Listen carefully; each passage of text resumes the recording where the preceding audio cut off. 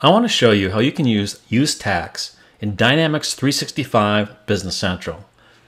There are some key setup things you must do, and then in the transactions we'll take a look at that, and finally the reporting. The reporting is important to make sure you get the information that you need for compliance. So let's get started. One of the key setups is tax areas.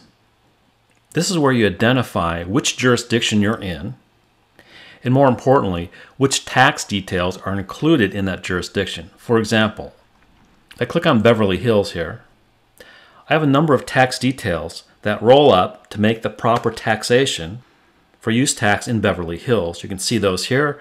I've got a city tax, state of California tax, Los Angeles County, and a special district tax.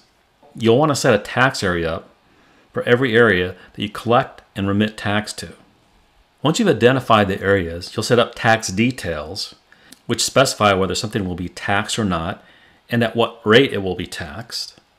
You'll set up tax group codes to determine if something's taxable or not taxable. You can see here how I've set up the jurisdiction for Beverly Hills. Taxable items are going to be taxed at 0.75%, and you can see the California state tax as well, and I've got others down here. So again, the tax details are rolled up into the tax area and supply the proper calculation and reporting for tax compliance. I'm going to create a typical purchase invoice that would involve use tax.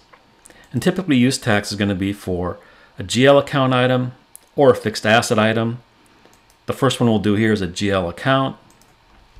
I'll look up the account, repairs and maintenance. Let's use that. This is pretty standard stuff. This is how I set up a purchase invoice to pay an amount to a vendor. Now what I want to do is I want to have the tax area code set up here.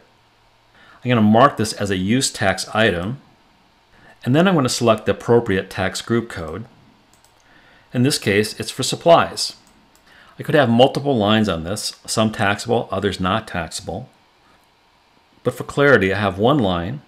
You'll notice that tax is being identified by the tax code and the tax group, but it's not being calculated as part of the total invoice. And that's because I'm going to self-assess the use tax on this item.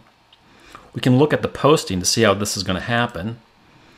If we look at the posting preview, we can see a couple things. We can look at the tax entry, and we can see that it's going to create tax detail entries for the different details I identified in the tax area.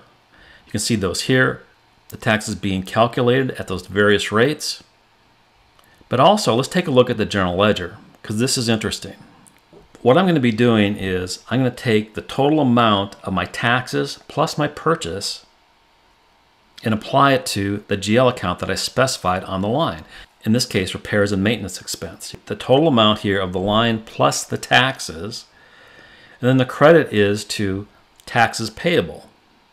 So at the end of a quarter or the end of a month or whenever I report taxes, I'm going to reconcile the tax payable lines with a tax report.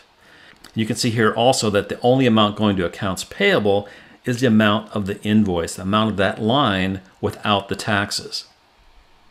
Let's look at another example. This is a purchase invoice for a fixed asset. You can see that I have it filled out already. I've got the amounts. I have the tax area code identified. I'm also identifying this as a use tax item. I'm going to self-assess the use tax in this case because my vendor does not collect tax in my local area. So again, I've got the total amount of the fixed assets. I have no taxes on the invoice because that is correct. We can look at the posting preview here and see what's going to happen at the general ledger. The total amount of the purchase, which includes the cost of the equipment and the self-assessed use tax, is going to go to the equipment GL. You can see the tax payable here and finally the accounts payable credits. So this is exactly what I want. I would go ahead and post these and I would be done with the transaction. Finally, let's take a look at the reporting. The reporting on this is pretty straightforward. We go to the sales tax collected screen here. I'm just going to look at the use tax. There's different levels of detail we can look at. Let's run the summary first. Put a date filter in here, then I'll run it. This is a summary level report for the period that I identified. You can see that here. I've got taxable sales amount, the tax amount.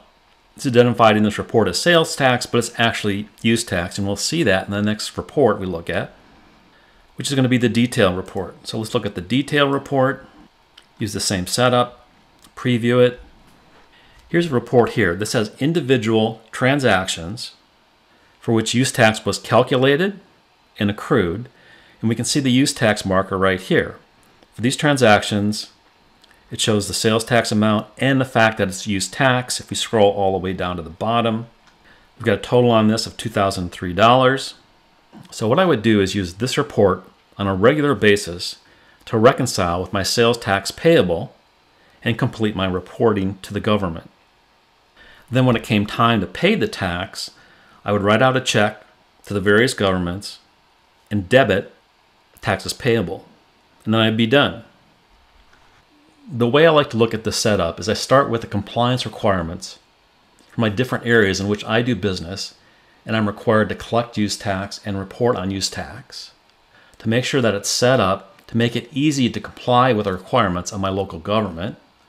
I then analyze the transaction processing to make sure that the transactions that I execute properly calculate and recognize use tax when I want it and finally, I look at the setup. In my experience in Business Central is that it's relatively easy to set up. It will take some maintenance as tax rates change, but it's pretty straightforward and easy to use.